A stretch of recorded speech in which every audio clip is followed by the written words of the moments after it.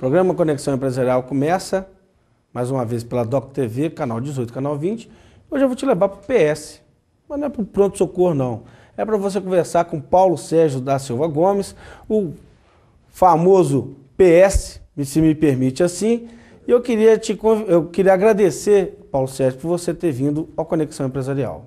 Nós é que agradecemos, né? Porque afinal de contas é uma oportunidade de estar presente à, nossa comunidade, comentando alguma coisa pessoal e alguma coisa da empresa nossa. E, interessante, nós estávamos aqui conversando antes, assim, é, como é que coloca, Paulo Sérgio, como é que você quer ser identificado?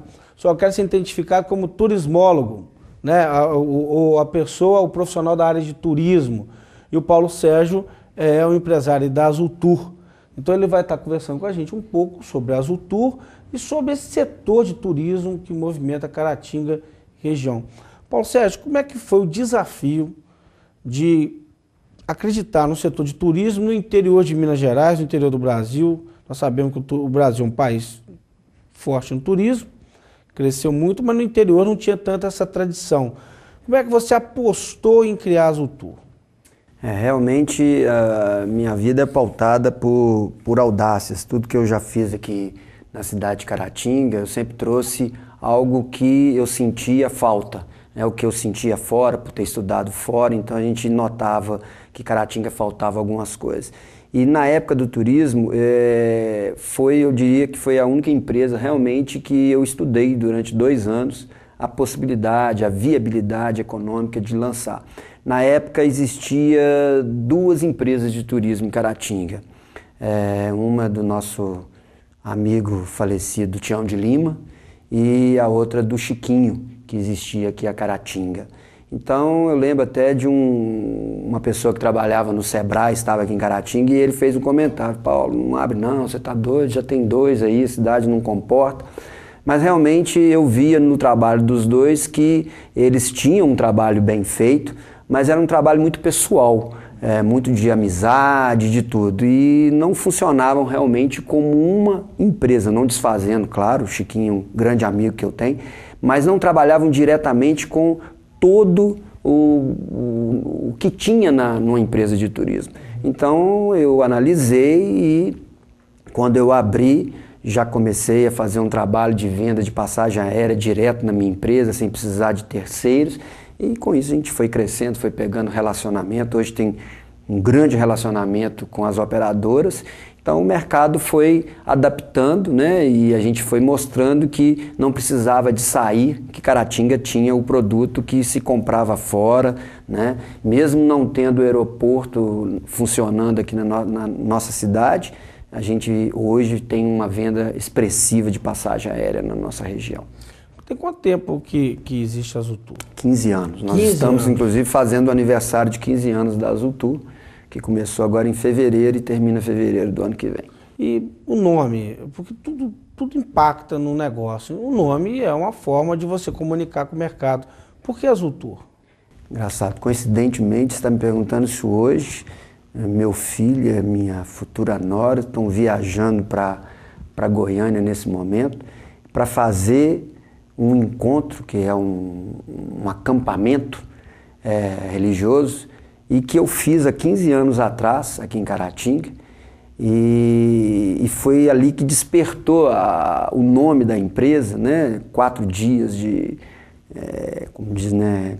na bênção, e a gente comentando, então a gente comentou como é que era a vida, o que a gente ia fazer, então surgiu uma questão de, é, nossa equipe era tudo azul, era azul. Então a gente falou o seguinte, que tudo azul e que azul tour porque, e eu sou atleticano, hein, sofredor, é. é tudo azul porque é, as claras, cor do céu, né? Então assim, a proposta foi céu exatamente essa, é a gente fazer uma empresa que fosse as claras, que fosse uma empresa idônea e que por isso o azul tour, né? Uma coisa bem limpa, bem clara.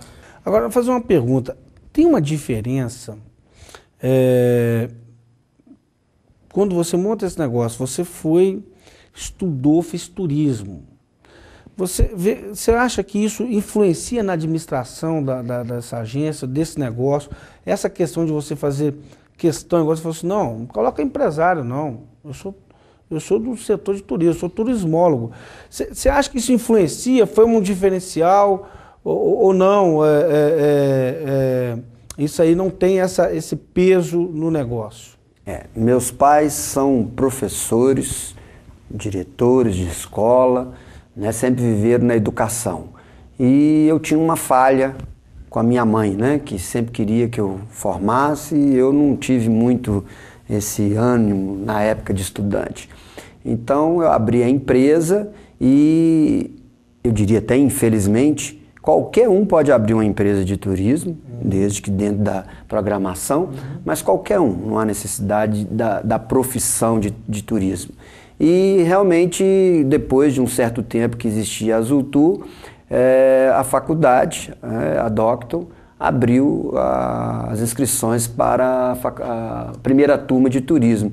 Então, não tendo ainda o meu diploma de terceiro grau, não, e tendo uma faculdade funcionando onde eu só atravessava a rua para poder chegar à escola, eu achei que não seria ilógico eu não participar. Então eu fiz o vestibular, consegui passar e entrei para a primeira turma e realmente é, foi um diferencial sim.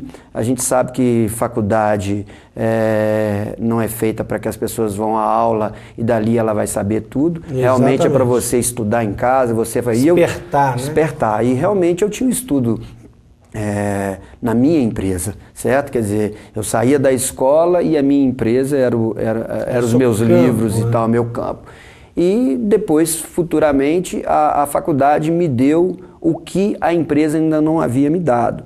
Ela me deu a condição de trabalhar, inclusive, na área de projetos, na área de setor público, porque são, é, são dois casos bem diferentes. Então, realmente, eu aprendi bastante. É, na verdade, te abriu um leque. E você, na verdade, você tem uma experiência que extrapola Zutu, que você foi secretário de turismo da cidade de Caratinga. É, isso eu diria que a, a, o estudo que eu tive na faculdade, e logicamente que eu procurei aprofundar, uhum. me deu condição realmente de fazer alguma coisa diferente no sentido de ter aproveitado e aprendido sobre projetos, sobre como trabalhar nesse Muda setor. a forma de ver a, a sociedade, o fato de se tornar um homem público e de ver as demandas, é, é, a sua forma de percepção mudou por ter sido secretário de turismo? Continuo nunca querendo ser político. Só que é, você estar fora e você estar dentro é outra coisa. É totalmente diferente e você tem uma visão realmente o que, que pode e o que, que não pode fazer e o que, que estão ou não estão fazendo. Próximo bloco nós vamos continuar com o PS, Paulo Sérgio. Falei que a gente ia apresentar um PS, né? Mas esse PS todo mundo quer conhecer porque ele te leva para qualquer lugar do mundo. No próximo bloco a gente continua conversando com o Paulo Sérgio.